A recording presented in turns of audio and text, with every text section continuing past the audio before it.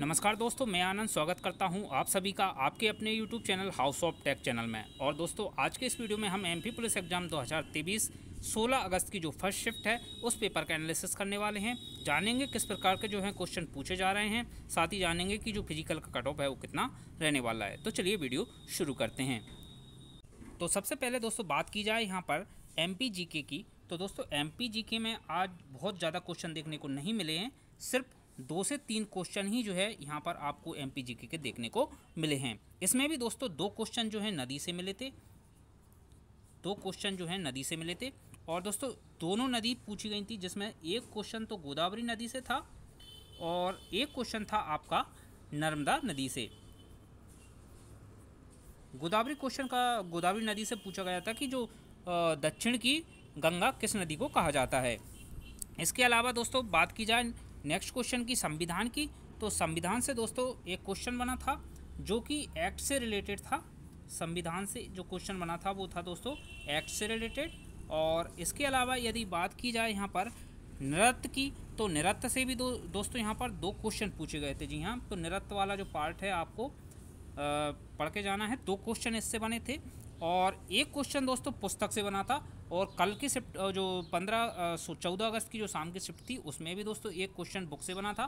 तो एक क्वेश्चन यहाँ पर बुक का बन रहा है। तो आपको जो बुक हैं, जो राइटर हैं, वो उनको पढ़ के एक बार ज़रूर जाना है। इसके अलावा बात की जाए दोस्तों जीएस की तो जीएस का अगर लेवल की अगर हम यहाँ पर बात करें तो जीएस का जो लेवल है दोस्तों आज के शिफ्ट में हार्ड बताया जा रहा है। यानी बच्चे जो बता रहे हैं कि आज का जो लेवल है वो थोड़ा सा हार्ड है। वहीं अगर बात की जाए दोस्तों यहाँ पर मैथ की तो मैथ से जो दोस्तों क्वेश्चन आ रहे हैं, वो मोस्टली जो है प्रॉफिट एंड लॉस से ही ज़्यादा क्वेश्चन देखने को मिले हैं आज। चार से पाँच क्वेश्चन जो है दोस्तों प्रॉफिट एंड लॉस यानी लाभ और हानि के क्वेश्चन देखने को मिले हैं। इसके अलावा दोस्तों, तीन से चार क्वेश्चन सी आई यानी कंपाउंड इंटरेस्ट तीन से चार क्वेश्चन यहाँ पर आपको देखने को मिले हैं, जिसे हम चक्रवृद्धि ब्याज के नाम से जानते हैं। इसके अलावा दोस्तों रेसको से एक क्वेश्चन बना था यहाँ पर, अनुपात से एक क्वेश्चन देखने को मिला था। इसके अलावा एलसीएम से एक क्वेश्चन यहाँ पर देखने को मिला है, और इसके अलावा दोस्तों, रेलगाड़ी से एक क्वेश्चन यहाँ पर देखने को मिला है। तो कुछ इस प्रकार से जो है, यहाँ पर मैथ का जो है आज पैटर्न देखने को मिला है दोस्तों। वहीं अगर बात की जाए दोस्तों यहाँ पर रीजनिंग की तो रीजनिंग के जो मोस्टली क्वेश्चन यहाँ पर देखने को मिले हैं, वो मिले हैं यहाँ पर दोस्तों, जो पिछला पैटर्न है उससे ही रिलेटेड जैसे कि घड़ी से क्वेश्चन पूछे गए थे, जो कि पिछली अन्य शिफ्टों में भी पूछे गए हैं। इसके अलावा दर्पण से भी क्वेश्चन आए थे दोस्तों। आज तो कम से कम चार से पाँच क्वेश्चन बताए जा रहे हैं। आज की जो शिफ्ट थी। इसके अलावा ब्लड रिलेशन दोस्तों।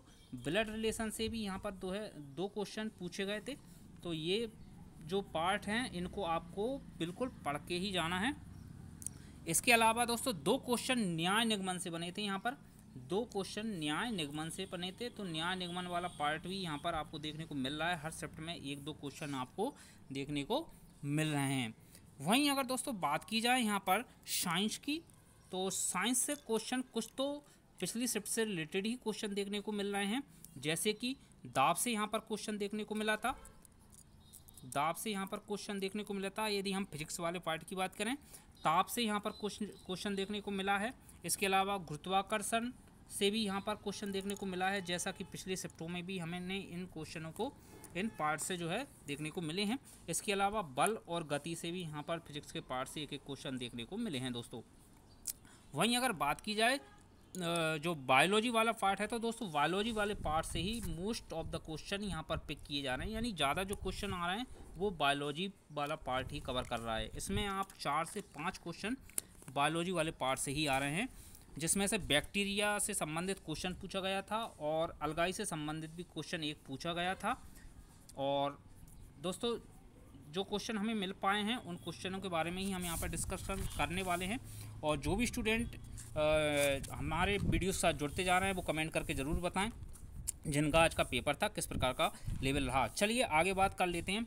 चलिए, यदि मैथ और रीजनिंग का, दोस्तों ओवरऑल यदि यहाँ पे हम लेवल की अगर बात करें तो आज जो मैथ और रीजनिंग का जो लेवल था मतलब जो स्कोर हुआ है, वो लगभग सिक्सटी प्लस आ रहा है दोनों, आज के शिफ्ट में देखा गया है कि दोनों सब्जेक्ट जो हैं, आज सिक्सटी प्लस मार्क्स के जो हैं, आए हुए थे।